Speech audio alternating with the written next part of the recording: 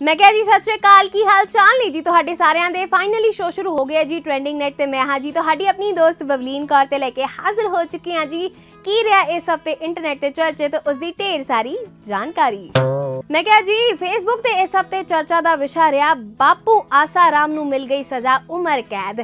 ਤੇ ਇਸ ਉਮਰ ਕੈਦ ਦੇ ਨਾਲ ਫੇਸਬੁੱਕ ਤੇ ਚਰਚਾ ਛਿੜੀ ਰਹੀ ਕਿ ਹੁਣ ਨਿਆਂਪਾਲਿਕਾ ਦਾ ਅਗਲਾ ਨਿਸ਼ਾਨਾ ਕਿਹੜਾ ਹੋਊਗਾ? ਕਿੰਨੂੰ ਮਿਲੂਗੀ ਅਗਲੀ ਸਜ਼ਾ? ਪਰ ਚਲੋ, ਇਹ ਤਾਂ ਹੁਣ ਵਕਤ ਹੀ ਦੱਸੂਗਾ। ਪਰ ਸਿਆਣੇ ਸਹੀ ਕਹਿੰਦੇ ਆ ਕਿ ਜਦੋਂ ਪਾਪ ਦਾ ਘੜਾ ਪਰਦਾ ਹੈ ਨਾ, ਉਦੋਂ ਸਜ਼ਾ ਮਿਲਦੀ ਹੀ ਮਿਲਦੀ ਆ। ਹੁਣ ਆਸਾਰਾਮ ਬਾਪੂ ਜੀ ਨੂੰ ਦੇਖ ਲਓ ਤੇ ਰਾਮ ਰਹੀਮ ਜੀ ਨੂੰ ਦੇਖ ਲਓ। ਇਹਨਾਂ ਦਾ ਪਾਪ ਦਾ ਘੜਾ ਭਰ ਗਿਆ ਤੇ ਸਜ਼ਾ ਇਹਨਾਂ ਨੂੰ ਮਿਲ ਗਈ। ਇਸ ਲਈ ਆਪਾਂ ਵੀ ਬੁਰਾ ਕੁਝ ਨਹੀਂ ਕਰਨਾ, ਨਹੀਂ ਤਾਂ ਸਜ਼ਾ ਸਾਨੂੰ ਵੀ ਜ਼ਰੂਰ ਮਿਲੂਗੀ। ਹੁਣ ਦੇਖਿਆ ਜਾਵੇ ਤਾਂ ਜਦੋਂ ਫੇਸਬੁੱਕ ਤੇ ਕੋਈ ਚਰਚਾ ਛਿੜਦੀ ਹੈਗੀ ਆ, ਤਾਂ ਉਹਦੇ ਤੇ ਐਡੇ ਵਧੀਆ ਵਧੀਆ ਪੋਸਟ ਆਉਂਦੇ ਨਾ ਕਿ ਕਹਿਣ ਦੀ ਕੋਈ ਗੱਲ ਨਹੀਂ ਹੁੰਦੀ। ਹੁਣ ਇੱਕ ਪੋਸਟ ਮੈਂ ਫੇਸਬੁੱਕ ਤੇ ਪੜਿਆ ਉਹਨੇ ਲਿਖਿਆ ਹੋਇਆ ਸੀ ਕਿ ਬਾਪੂ ਆਸਾਰਾਮ ਕੇਸਰ ਦੇ ਸਾਬਣ ਨਾਲ ਨਹਾਉਂਦਾ ਸੀਗਾ।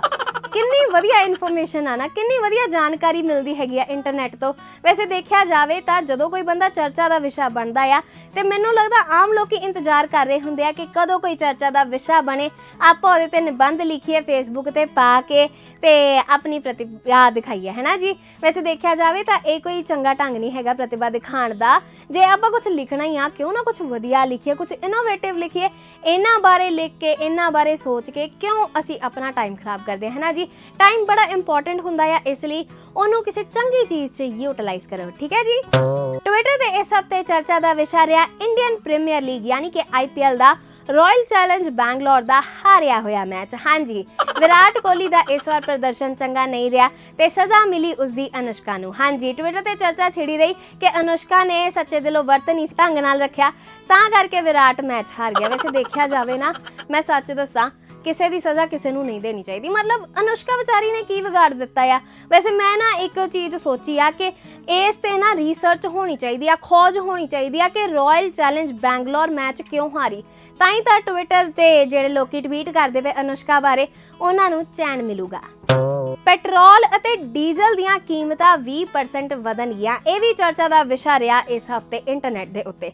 ਦੇਖਿਆ ਜਾਵੇ ਤਾਂ ਜਦੋਂ ਇਸ ਵਿਸ਼ੇ ਤੇ ਗੱਲ ਹੁੰਦੀ ਹੈ ਤੇ ਕਈ ਫੋਟੋਆਂ ਸਿਆਸਤਦਾਨਾਂ ਵੱਲੋਂ ਆਮ ਲੋਕਾਂ ਵੱਲੋਂ ਪਾਈਆਂ ਜਾਂਦੀਆਂ ਆ ਕੰਪੈਰੀਜ਼ਨ ਕੀਤਾ ਜਾਂਦਾ ਹੈ, ਤਬਦੀਲ ਕੀਤੀ ਜਾਂਦੀ ਹੈ ਤੁਲਨਾ ਕੀਤੀ ਜਾਂਦੀ ਹੈ ਕਿ ਪਿਛਲੀ ਸਰਕਾਰ ਨੇ ਕੀ ਕੰਮ ਕੀਤਾ ਸੀ ਤੇ ਇਸ ਵਾਰ ਸਰਕਾਰ ਨੇ ਕੀ ਕੰਮ ਕੀਤਾ ਸੀ। ਪਿਛਲੀ ਵਾਰ ਮਹਿੰਗਾਈ ਕਿੰਨੀ ਸੀ ਤੇ ਇਸ ਵਾਰ ਮਹਿੰਗਾਈ ਕਿੰਨੀ ਹੈ। ਵੈਸੇ ਦੇਖਿਆ ਜਾਵੇ ਤਾਂ ਮੈਂ ਇੱਕ ਗੱਲ ਕਹੂੰਗੀ, ਪਿਛਲੀ ਸਰਕਾਰ ਦੀ ਜਿਹੜੀ ਚਰਚਾ ਕਰਦੇ ਆ, ਉਹਨੂੰ ਵੀ ਵੋਟ ਪਾ ਕੇ ਅਸੀਂ ਬਿਠਾਇਆ ਸੀ ਤੇ ਐਤਕੀ ਸਰਕਾਰ ਦੀਆਂ ਜਿਹੜੀਆਂ ਗੱਲਾਂ ਕਰਦੇ ਆ, ਉਹਨੂੰ ਵੀ ਵੋਟ ਪਾ ਕੇ ਅਸੀਂ ਹੀ ਬਿਠਾਇਆ ਹੈ। ਤੇ ਕਿਉਂ ਨਾ ਇਸ ਚੀਜ਼ ਤੇ? ਇਹ ਸੋਚਿਆ ਜਾਵੇ ਆ ਸਰਕਾਰ ਨੇ ਵਧੀਆ ਕੀਤਾ, ਉਹ ਸਰਕਾਰ ਨੇ ਵਧੀਆ ਕੀਤਾ। ਚੰਗੀ ਗੱਲ ਹੈ, ਕਰਨਾ ਚਾਹੀਦਾ ਹੈਗਾ ਆ। ਸਾਨੂੰ ਪਤਾ ਲੱਗਦਾ ਆ ਕੌਣ ਕਿੱਦਾਂ ਦਾ ਕੰਮ ਕਰ ਰਿਹਾ ਆ। ਪਰ ਦੇਖਿਆ ਜਾਵੇ ਤਾਂ ਬੈਸਣ ਨਾਲੋਂ ਚੰਗਾ, ਇਹ ਕਹਿਣ ਨਾਲੋਂ ਚੰਗਾ ਆ ਸਰਕਾਰ ਨੇ ਚੰਗਾ ਕੰਮ ਨਹੀਂ ਕੀਤਾ, ਉਹ ਸਰਕਾਰ ਨੇ ਚੰਗਾ ਕੰਮ ਨਹੀਂ ਕੀਤਾ, ਆਪਣੇ ਆਪ ਨੂੰ ਦੋਸ਼ ਦਿਵੋ। ਕਿਉਂਕਿ ਉਹਨਾਂ ਨੂੰ ਵੋਟ ਪਾ ਕੇ ਅਸੀਂ ਉੱਥੇ ਬਿਠਾਇਆ ਤੇ ਕਿਉਂ ਨਾ ਇਹ ਸੋਚਿਆ ਜਾਵੇ ਕਿ ਅੱਗੋਂ ਕਿਸੇ ਨੂੰ ਜੇ ਵੋਟ ਕਰਨੀ ਆ ਤੇ ਸੋਚ ਸਮਝ ਕੇ ਕਰਨੀ ਆ, ਆਪਣਾ ਜਿਹੜਾ ਕੀਮਤੀ ਵੋਟ ਆ, ਉਹ ਕਿਸੇ ਅਜਿਹੇ ਬੰਦੇ ਨੂੰ ਨਹੀਂ ਦੇਣਾ ਕਿ ਅਗਲੇ 5 ਸਾਲ ਅਸੀਂ ਪਛਤਾਈਏ ਹੈਨਾ ਜੀ? ਸੋ ਇਹ ਇੱਕ ਸਬਕ ਹੈਗਾ ਆ ਤੇ ਕਿਉਂ ਨਾ ਅਸੀਂ ਹੁਣ ਇਸ ਚੀਜ਼ ਨੂੰ ਪੱਲੇ ਬੰਨ ਕੇ ਤੇ ਸੋਚੀ ਵਿਚਾਰੀਏ ਤੇ ਅੱਗੋਂ ਸਹੀ ਵੋਟ ਕਰੀਏ। ਤੇ ਦੇਖਿਆ ਜਾਵੇ ਹੁਣ ਪੈਟਰੋਲ ਤੇ ਡੀਜ਼ਲ ਦੀਆਂ 20% ਰੇਟ ਜਿਹੜੇ ਆ ਵਧਨੇ ਆ ਇਸ ਸਾਲ ਦੇ ਵਿੱਚ, ਉਹਦੇ ਲਈ ਵੀ ਇੱਕ ਸੋਲੂਸ਼ਨ ਹੈਗਾ। ਸਾਈਕਲ, ਹੋਰ ਕੀ ਆ? ਗੱਡੀਆਂ ਛੱਡੋ, ਸਾਈਕਲ ਚਲਾਓ। ਆਰਾਮ ਨਾਲ ਨਾ ਤਾਂ ਨਾਲੇ ਤਾਂ ਪੈਸੇ ਬਚੂਗੇ ਤੇ ਉਤੋਂ ਸਿਹਤ ਵੀ ਠੀਕ ਰਹੂਗੀ। ਹੈਨਾ ਜੀ? ਕਿਉਂ? ਕੁਝ ਗਲਤ ਕਿਹਾ ਮੈਂ? ਇਮਰਾਨ ਖਾਨ ਦਾ ਤੀਜਾ ਵਿਆਹ ਫਿਰ ਤੋਂ ਸੰਕਟ ਦੇ ਵਿੱਚ ਹੈ। ਹਾਂਜੀ, ਇਹ ਖਬਰ ਰਹੀ ਚਰਚਾ ਦਾ ਵਿਸ਼ਾ। ਇੰਟਰਨੈਟ ਤੇ ਲੋਕਾਂ ਨੇ ਇੰਨੇ ਟ੍ਰੋਲਸ ਬਣਾਏ, ਇੰਨੀ ਕਮੈਂਟਰੀ ਹੋਈ ਕਿ ਪੁੱਛੋ ਕੁਛ ਨਾ। ਤੇ ਵਾਕਈ ਹੁਣ ਇਸ ਖਬਰ ਦੀ ਜਾਣਕਾਰੀ ਤੁਹਾਨੂੰ ਦੇ ਦਾਂ ਤੇ ਇਹ ਖਬਰ ਇਦਾਂ ਦੀ ਹੈ ਕਿ ਇਮਰਾਨ ਖਾਨ ਪਾਕਿਸਤਾਨ ਦੇ ਸਾਬਕਾ ਕ੍ਰਿਕਟਰ ਨੇ ਤੇ ਸਿਆਸਤਦਾਨ ਨੇ। ਵੈਸੇ ਦੇਖਿਆ ਜਾਵੇ, ਇਸ ਗੱਲ ਤੋਂ ਇਹ ਪਤਾ ਲੱਗਦਾ ਹੈ ਕਿ ਉਹਨਾਂ ਨੂੰ ਕ੍ਰਿਕਟ ਖੇਡਣਾ ਤਾਂ ਆਂਦਾ ਆ ਪਰ ਆਪਣੀ ਵਿਆਹਤਾ ਜ਼ਿੰਦਗੀ ਨਹੀਂ ਸੰਭਾਲਣੀ ਆਂਦੀ। ਬਿਲਕੁਲ ਜੀ। ਤੇ ਹੁਣ ਗੱਲ ਕਰਦੇ ਹਾਂ ਕਿ ਕਿਉਂ ਉਹਨਾਂ ਦੀ ਨਵੀਂ ਪਤਨੀ, ਤੀਜੀ ਪਤਨੀ ਘਰ ਛੱਡ ਕੇ ਚਲ ਗਈ? ਬਈ, ਉਹ ਦੁਖੀ ਸੀਗੀ ਉਹਨਾਂ ਦੇ ਪਾਲਤੂ ਕੁੱਤਿਆਂ ਤੋਂ। ਹਾਂਜੀ। ਪਾਲਤੂ ਕੁੱਤਿਆਂ ਤੋਂ ਦੁਖੀ ਸੀ ਤੇ ਉਹਨੂੰ ਕੁੱਤਿਆਂ ਤੋਂ ਡਰ ਵੀ ਲੱਗਦਾ ਸੀ। ਇਸ ਲਈ ਉਹ ਘਰ ਛੱਡ ਕੇ ਚਲੀ ਗਈ। ਉਹਨਾਂ ਨੇ ਕਾਫੀ ਡਿਸਕਸ਼ਨ ਵੀ ਕੀਤੀ। ਇਹ ਵੀ ਕਿਹਾ ਕਿ ਕੁੱਤਿਆਂ ਨੂੰ ਕਿਤੇ ਸਾਈਡ ਤੇ ਰੱਖ ਲਓ, ਪਰ ਇਮਰਾਨ ਖਾਨ ਜੀ ਨੇ ਉਹਨਾਂ ਦੀ ਗੱਲ ਬਿਲਕੁਲ ਵੀ ਨਹੀਂ ਸੁਣੀ। ਵੈਸੇ ਦੇਖਿਆ ਜਾਵੇ ਨਾ, ਮੈਨੂੰ ਇੱਕ ਗੱਲ ਸਮਝ ਨਹੀਂ ਆਂਦੀ ਤਿੰਨ ਵਿਆਹ ਤੇ ਇੱਥੇ ਵਿਚਾਰੇ ਸਲਮਾਨ ਖਾਨ ਦਾ ਇੱਕ ਵਿਆਹ ਨਹੀਂ ਹੁੰਦਾ। ਪਰ ਚਲੋ, ਮੁੱਦੇ ਦੀ ਗੱਲ ਤਾਂ ਇਹ ਹੈਗੀ ਹੈ ਕਿ ਰਿਪੋਰਟਾਂ ਕਈ ਸਾਹਮਣੇ ਆ ਰਹੀਆਂ ਕਿ ਇਦਾਂ ਕਿਉਂ ਹੋ ਰਿਹਾ ਆ।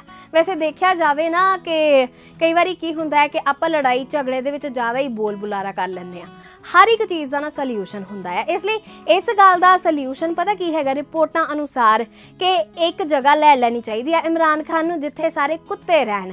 ਤੇ ਉਹ ਘਰ ਨਾ ਆਣ ਜਦੋਂ ਦਿਲ ਕਰੇ ਉਹਨਾਂ ਨੂੰ ਜਾ ਕੇ ਮਿਲ ਲਿਆ, ਭਾਵੇਂ ਸਾਰਾ ਦਿਨ ਉੱਥੇ ਰਹੇ, ਹੈਨਾ ਜੀ? ਇਸ ਨਾਲ ਘਰ ਦਾ ਵੀ ਕਲੇਸ਼ ਖਤਮ ਹੋ ਜਾਊਗਾ ਤੇ ਨਾਲ ਦੀ ਨਾਲ ਉਹਨਾਂ ਦੀ ਆਪਣੀ ਮਰਜ਼ੀ ਵੀ ਹੋ ਜਾਊਗੀ। ਇਹਨਾਂ ਥੋੜੀ ਸੋਚੀਦਾ ਹੁੰਦਾ ਹੈ, ਹਰ ਇੱਕ ਚੀਜ਼ ਦਾ ਸਮਾਧਾਨ ਨਿਕਲ ਜਾਂਦਾ ਹੈ। ਤੇ ਹਾਂਜੀ, ਇਹ- ਇਹੀ ਇਲਾਜ ਦੇ ਵਿੱਚ ਮੈਸੇਜ ਸੀਗਾ ਕਿ ਕਿਸੇ ਵੀ ਪ੍ਰੋਬਲਮ ਨੂੰ ਇੰਨਾ ਨਾ ਖਿੱਚੋ, ਇੰਨਾ ਨਾ ਸੋਚੋ, ਆਰਾਮ ਦੇ ਨਾਲ ਹੱਲ ਕਰੋ, ਠੀਕ ਹੈ ਜੀ? ਤੇ ਹੁਣ ਮੈਨੂੰ ਬਬਲੀਨ ਕੌਰ ਨੂੰ ਦਿਓ ਇਜਾਜ਼ਤ ਤੇ ਤੁਸੀਂ ਦੇਖਦੇ ਰਹੋ ਅਜੀਤ ਵੈਬ ਟੀਵੀ। ਸਤਿ ਸ਼੍ਰੀ ਅਕਾਲ।